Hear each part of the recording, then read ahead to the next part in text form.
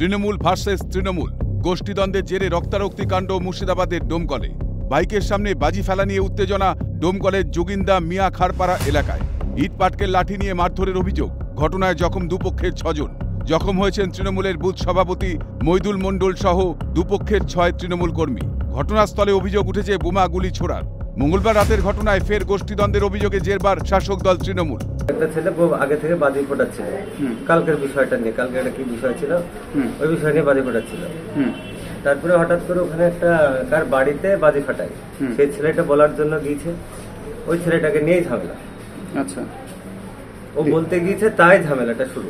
এবার রিটপাট কেলে দুই পক্ষের উভয় পক্ষের খাম হয়েছে। বোমগুলি কিছু চলেছিল বোম পড়েনি।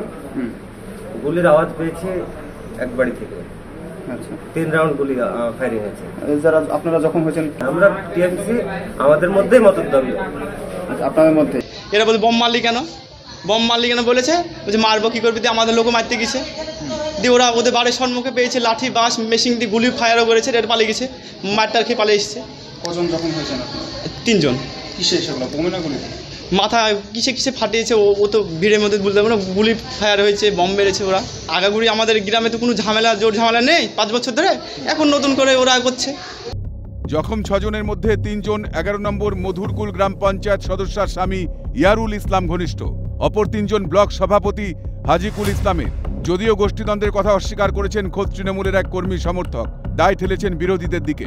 তারা তৃণমূলের লোক যারা তারা যারা মেরেছে তারা তৃণমূলের না তৃণমূল এখন সে ছাড়ছে তৃণমূল। এরা সিপিএম করার এজেন্ট ছিল বিগত লোকসভা বিধানসভা। এরা তৃণমূলের লোক না। ঘটনা যেটা বলছিলাম আমি তো দম করেছিলাম খবরটা পেলাম একটা ছোটোখাটো ঝামেলা হয়েছে। আমি ব্যাপারটা দেখছি ঘটনাটা কি আছে তারপর আমি অর্ডার করব মুর্শিদাবাদের শাসক দলের অন্তর্দ্বন্দ্ব নিয়ে অভিযোগ তুলে সরব বিরোধী শিবির। কে মেম্বার হবে কে ভোটে প্রার্থী হবে এইসব নিয়ে গন্ডগোল গোটা রাজ্যে যেমন চলছে দমকলেও শুরু হয়েছে আরও হবে। সামনে দিনে এই গন্ডগোল আরও হবে কারণ তৃণমূলের রাজনীতি মানে হচ্ছে যে খাওয়া খাই রাজনীতি। এর ফলে খাওয়া খাই রাজনীতির এই বহিঃপ্রকাশ ঘটছে। সর্বত্র আগ্নেয়াস্ত্র ছড়িয়ে আছে এবং দমকুল প্রত্যেকটা গ্রাম পঞ্চায়েতে বোমা বাজি চলছে।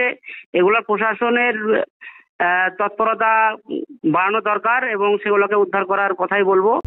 জখম তৃণমূল কর্মীরা ডোমকল সুপার স্পেশালিটি হাসপাতাল ও বহরমপুর মেডিকেল কলেজ হাসপাতালে চিকিৎসাধীন গোটা ঘটনায় অভিযুক্ত চারজনকে আটক করেছে ডোমকল থানার পুলিশ। শুরু হয়েছে তদন্ত। পঞ্চায়েত ভোট সামনে আসতেই মুর্শিদাবাদ থেকে উঠে আসছে একের পর এক গোষ্ঠী কোন্দলের ঘটনা। আগামীতে কোন দিন দেখতে চলেছে মুর্শিদাবাদবাসী? উত্তর দেবের সময়। মুর্শিদাবাদ থেকে বিশ্বজিৎ কর্মকারের রিপোর্ট ক্যালকাটা নিউজ।